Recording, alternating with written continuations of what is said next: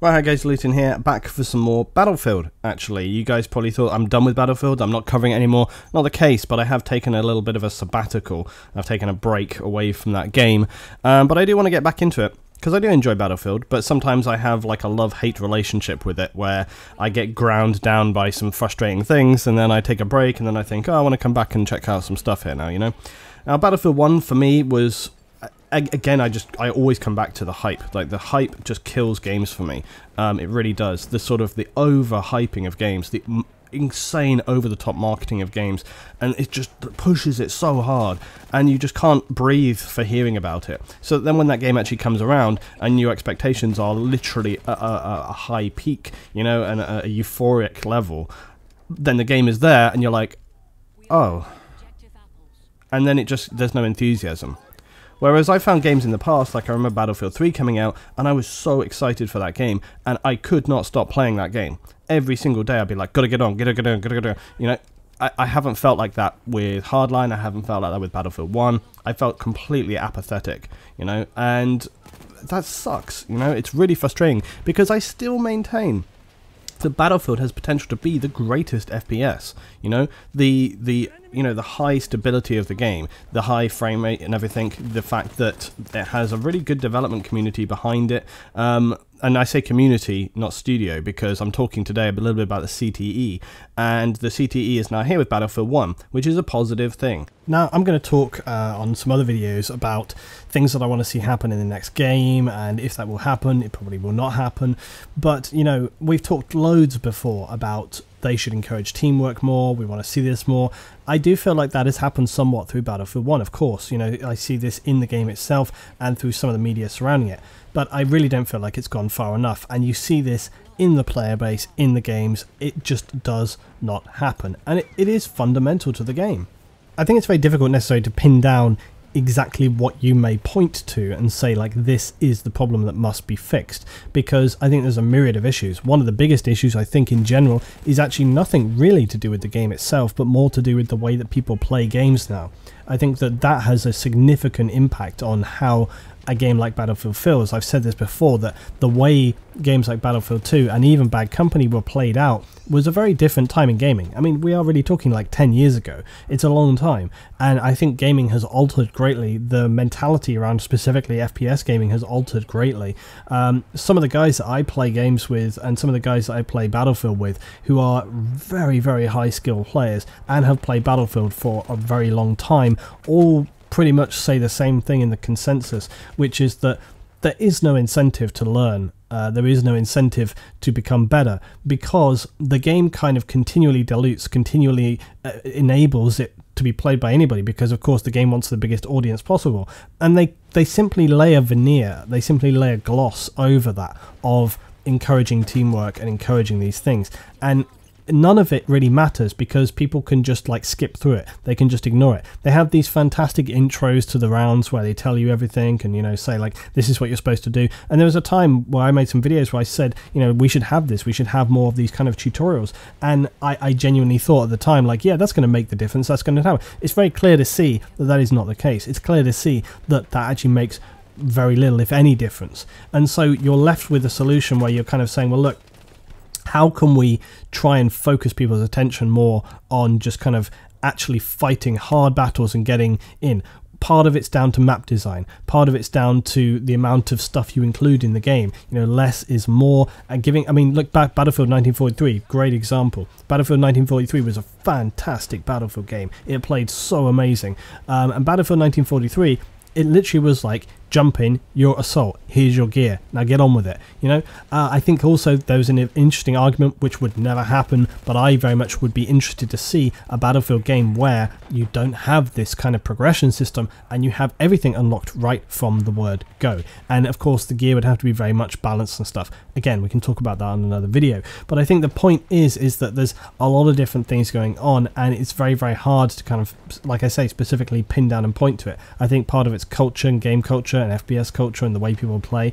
Um, you only have to look at the uh, the kind of uh, unhelpful nature that the way people are. Like any, like I mean, the chat in Battlefield has always been a disaster zone, so it's not really a very good point of reference. But it does point to the fact that there are communities where they don't have that. I think that's the thing to note. Not so much to note that you know, uh, Battlefield's chat is specifically bad compared to any other game. You know, any FPS FPS game. I think FPS games in general uh, cultivate a very nasty and generally unhelpful community um, because people just seem to be so aggressive and so bitchy and just jumping on one another straight away and just really nasty. Like people just don't want to help one another. They don't want to work together. They don't want to do any of that together. And it's it's a very hostile environment. Uh, compare that to other games, uh, things which are completely different, of course, like building communities, Cities: Skylines communities, different things like this.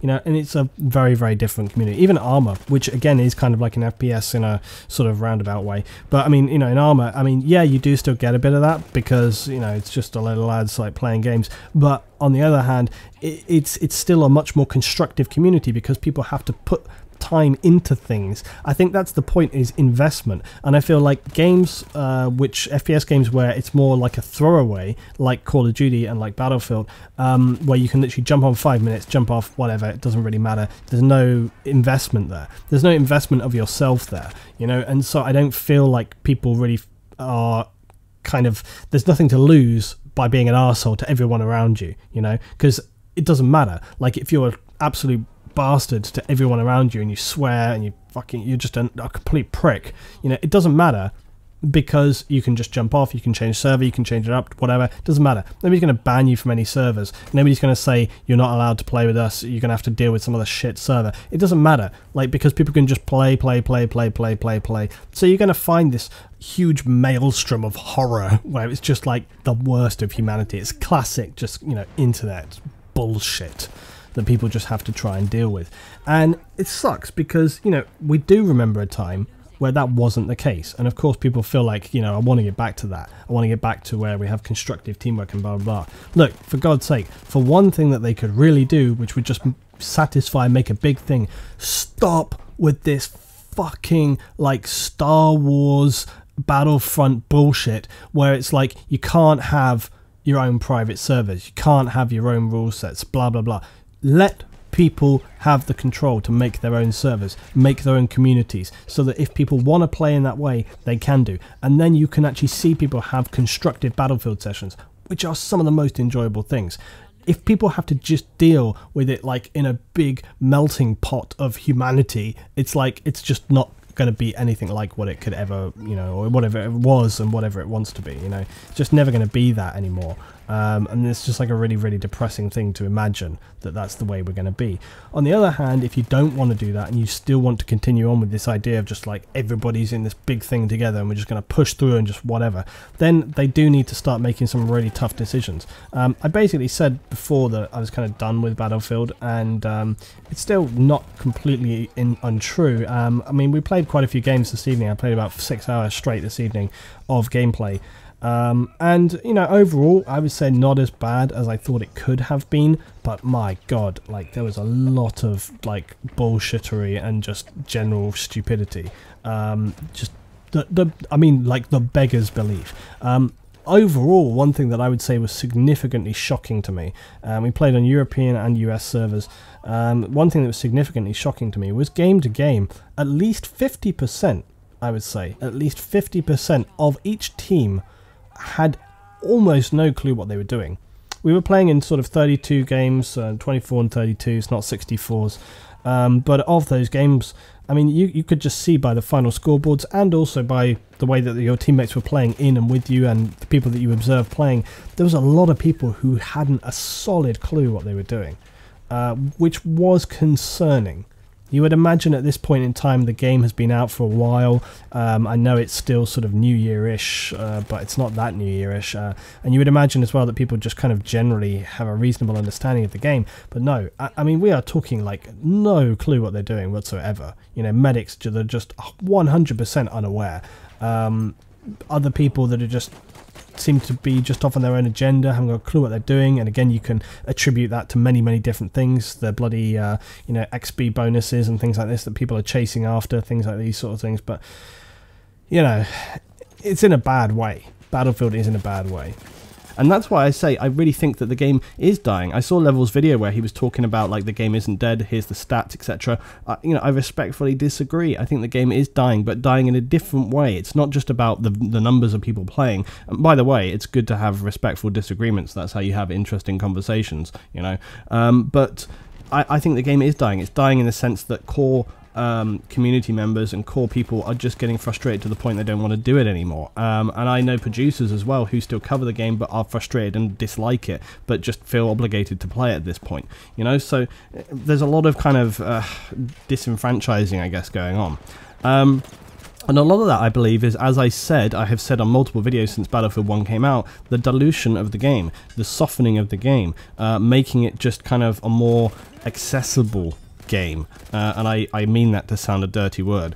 Um, it's like you should feel like you have to learn and you have to push yourself, and I just never find that to be the case anymore. Um, and the fact that the randomness bleeds into how your performances, you know, because like I've said before, when there is so much, like you can't depend on anybody around you at any point in time, and so you never know where people are coming from, and it just ends up being kind of crazy. Um, the flip side of that is if you have a solid squad of people who know what they're doing, they can almost like annihilate the other team by sort of sticking together and just wiping them out, and that's not a good thing either. You know, it's like it sucks to be on a team where you're just rolling through people all the time. That's not good. It's not enjoyable, and actually, I think to a degree that's why I get bored with the game because it's just one of two things. You're either getting getting fucked into the ground or you're destroying the enemy and rolling over them. And let's be, you know, that's been the case for a long time. That has been the case for a long time. It's been the case in Hardline, it's been the case in Battlefield. It's just one thing or the other. It's hard to get balanced push and pull game sessions where you are genuinely struggling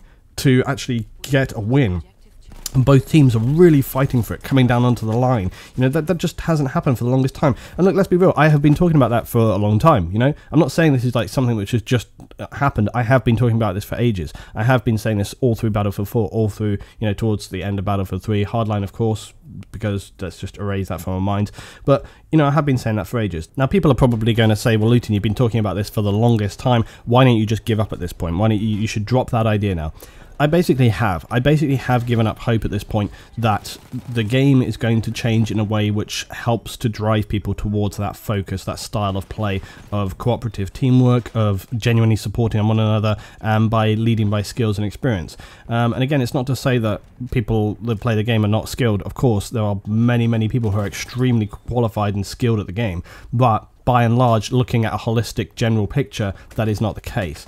Um, and I think that yeah, that's just not going to happen now.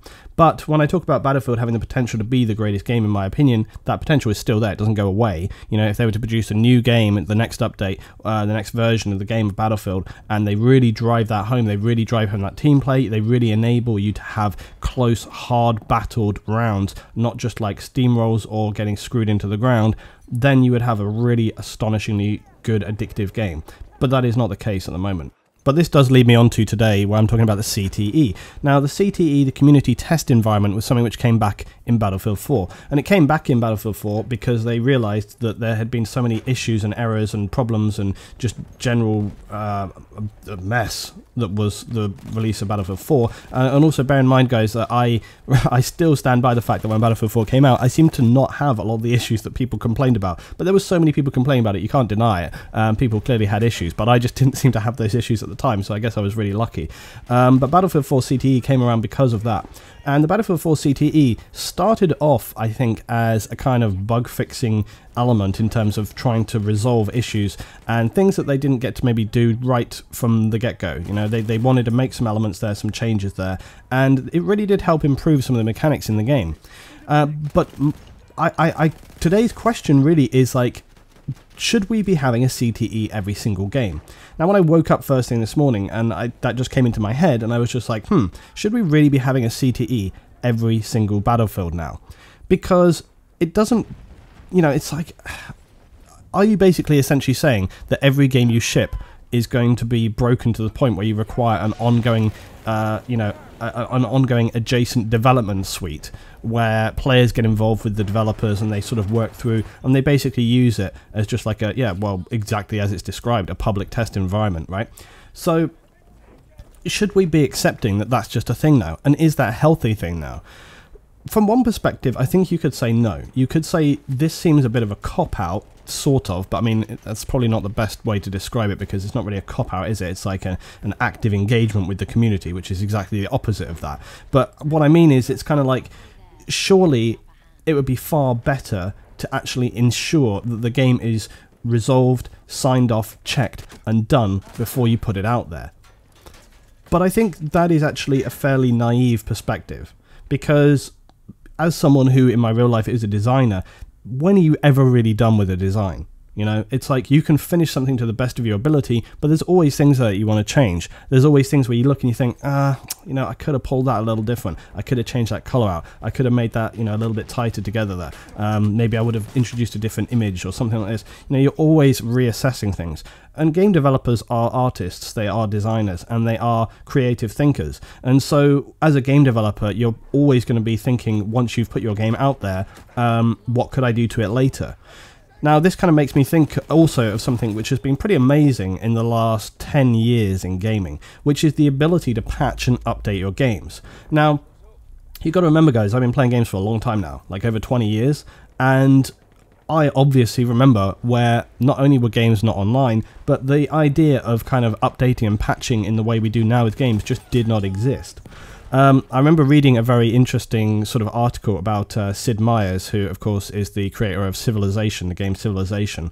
And he was talking about how when they originally shipped uh, Civilization, the first game, that people would actually write physical penned letters into the studio once they'd put a game out saying, This doesn't work, this is broken, this is bugged, I want to see this, I want to change that. So, because they had no way of, of course, updating online the way we do today, so people would actually write letters in telling them what they the changes they wanted to see in the next game, and then they'd have to wait for the next game for those changes to come in. But I mean, imagine a scary world, a scary world back then, like 10, 15 years ago, where when you finished a game and you put it out there, that is it. It's like there is no changes. You have to bug fix. You have to make sure everything is as it needs to be when you put it out there. Because once it's out there, that's it. It's done. It's finished, right?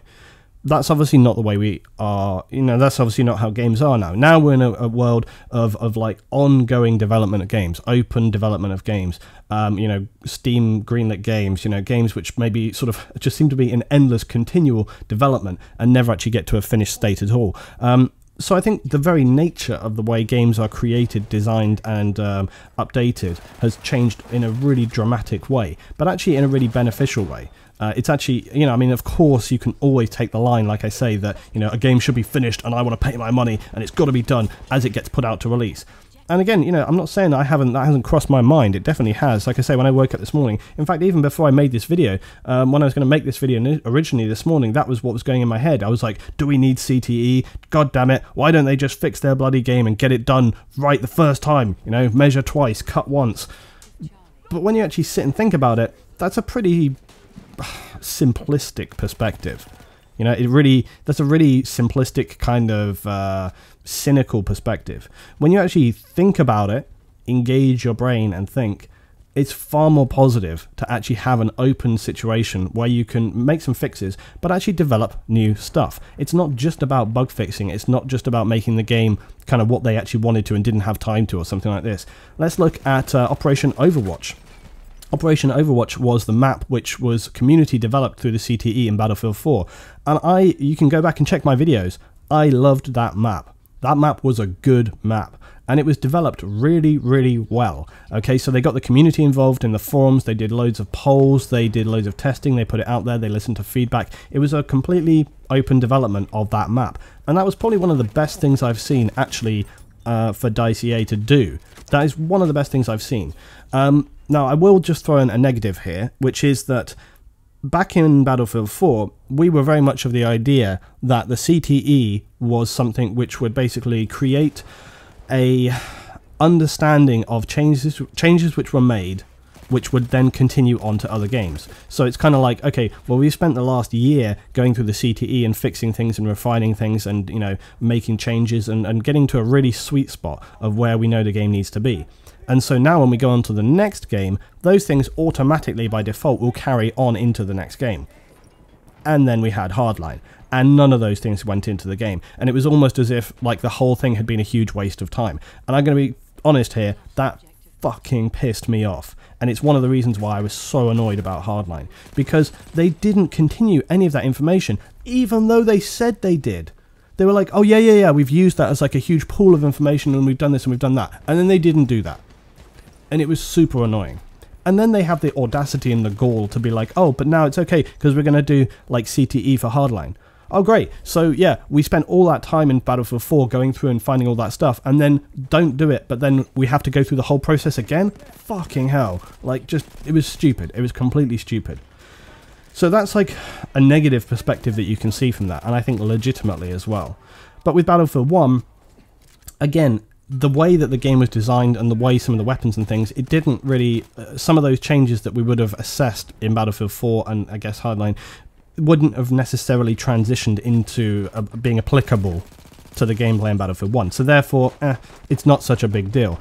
But I do think that, you know, it's always good to have those things to refine, test uh, bugs and issues, and then maybe sort of, you know, obviously it helps them to get open testing and then put it into the game. That's a good thing. But I'm more excited about the potential for uh, open developing elements and putting them into the game as they did with the map of Operation Overwatch in Battlefield 4. So as I say, guys, overall it's a positive thing, but it does make me kind of. I feel very. I feel like I'm pulling in two different directions here because I feel on the one half I'm like, is this a positive thing to get into the mentality of just always fixing overtime games instead of sort of really getting them to a solid point to release. Again, I think that's a fairly spurious perspective, and I'm kind of having an internal argument with myself about that. Like, is that the right thing? Is that not the right thing? Is it too cynical? Is it really naive?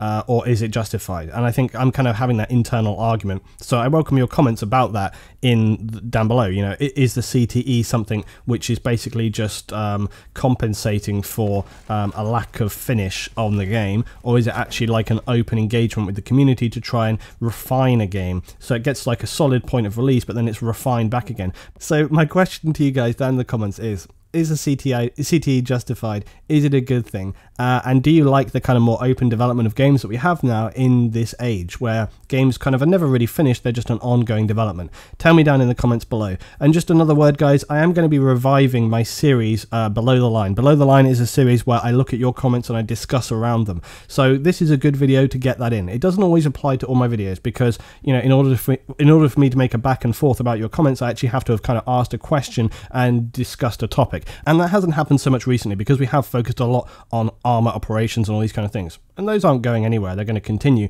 But I also want to get back into making discussion videos. I want to get back into talking about Battlefield. I want to get back into playing Verdun. I want to get back into playing Squad. There's stuff like Wildlands coming up. There's a lot of games coming up, and I want to diversify and get back into talking about game issues because I love doing that. Thanks for watching today, guys. Hope you enjoyed very much. If you did, guys, please support the channel by hitting that like. Tell me your comments down below. I'll see you next time.